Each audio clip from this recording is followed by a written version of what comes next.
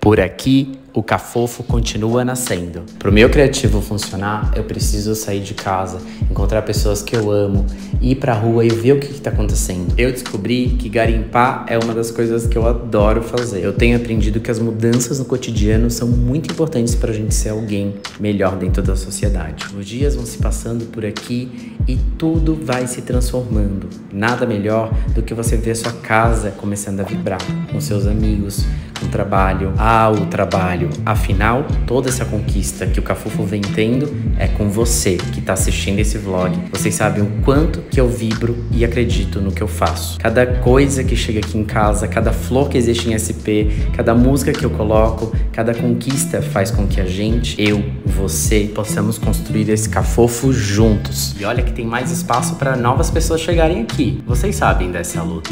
Mas hoje o nosso vlog termina aqui. Até semana que vem.